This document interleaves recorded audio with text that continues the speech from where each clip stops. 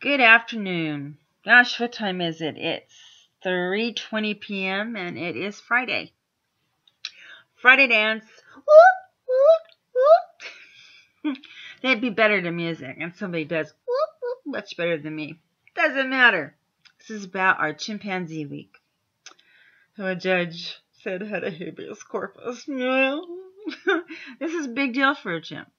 Chimps have been stuck in cages and used as research um, uh, objects for centuries. National Institute of Health today uh, recognized that habeas corpus and um, is releasing 300 and then 500. That's how many chimps or anything that was primate was at is at the National Institute of Health, who I depend on. and you know, you never know who you're in bed with. Makes me worry. Anyway, um, this lighting that is driving me crazy. Anyway, I'm giving you two sanctuaries, and I believe one is Louisiana, and the other one is here in my state, ran by my own favorite Auntie Kim. Auntie Kim has um, one of the best vets specialists I know as far as being able to be a technician and be an assistant to a veterinarian. She can probably do any surgery if she had to in an emergency. She is the best. She loves horses. She rescues horses too. Her husband, I think, even built her another barn. She has a feral barn for cats. And she also works at the sanctuary. You'll see the sanctuary. I mean, come on. You gotta love the sanctuary, right?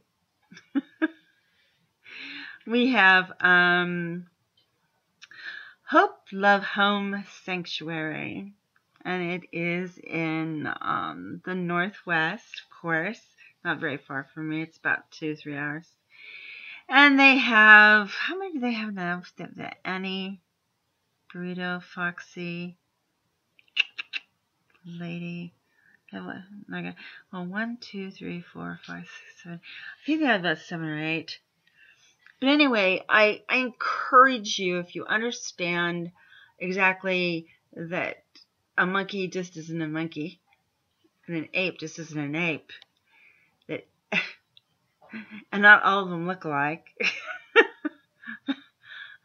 we can all can come to one conclusion. We've got to stop mistreating everything in our world, from our air to our highways to our own homes to the living beings around us that we recognize as cute and Cheetah, who by the way lived to be 78. He was he was old.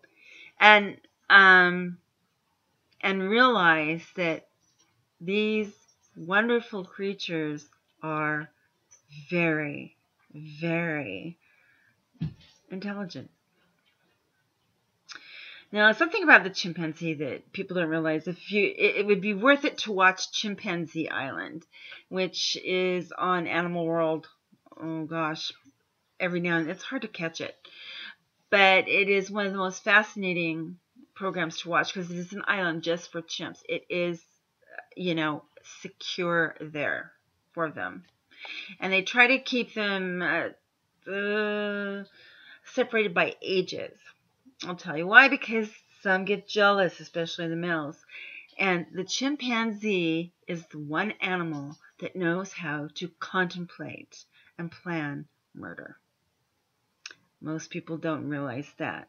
They are capable of killing and thinking about it before they do. Very human quality. Uh, quality. it's behavior. Anyway, um, these apes are in these preserves for preservation to keep them safe. Um, they're retired. Now we'll open up more of these huge places and hopefully you know, get some things straight. It's like, you know, Woodland Park Zoo, um, we lost our elephants, which we should have, um, and they're being sent to an elephant sanctuary. Uh, I don't know if they're sending to the one in Louisiana or there's another one, I think, somewhere in the Carolinas. But it's huge, gigantic, thousands and thousands and thousands of acres to roam around on and be an elephant. So, anyway, what they're doing with these chimps um, is basically treating them with the respect that they should have had in the first place. Our world is not is not safe.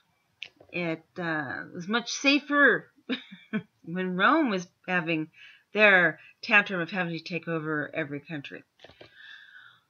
That's something I thought I'd never say. Um, it, it's really bad when you can't be in your own territory in the Congo, in the savannas, or anywhere without being hunted for pelts, for paws, for eyes, for ears, doesn't matter, or taking your little ones away, killing you and selling the babies on the black market. I can go through the newspaper today and find in through black market chimpanzees, baby bobcats, um, was it a cheetah? I'm not sure. But anyway, you can get these animals black market. It's got to stop. How do you stop it? Well, they arrest them, they bust, and then they turn around, let the animal go where it goes, and then it gets caught again or gets killed. Anyway, what ends up happening is the population starts dwindling, and then extinction takes place. You know, and it's man caused. Yes, it is our fault, definitely. Um. So anyway, I, I really encourage you if you, I donate, you know, to Friends, which does dogs, horses, cats, pigs, all kinds of things in Kanab, Utah. I also do United States, uh, the um, Humane Society of the United States, but not the one in D.C. I do the one in my local area. You can do the one in D.C. too. You can do all of them. Um, also Pasado, which is a fantastic shelter. I only use no-kill shelters because there's no reason to kill a good animal. What? Because you're moving? No. Um, you don't put down a cat because the cat's urinating over the house. You take the cat to a vet that will take it in and retrain it behaviorally. This is how you do it.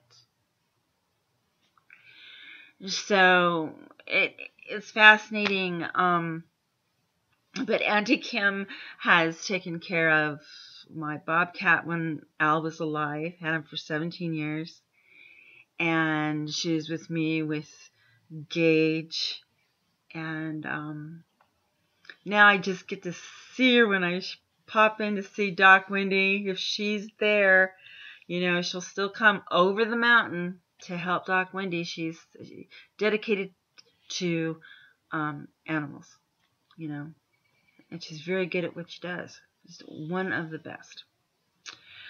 So, um, on that note, thought you should know about it. Get on with this vid. Thank you very much. Mm, bye. Jeez. How, where? Hell. oh, this is funny.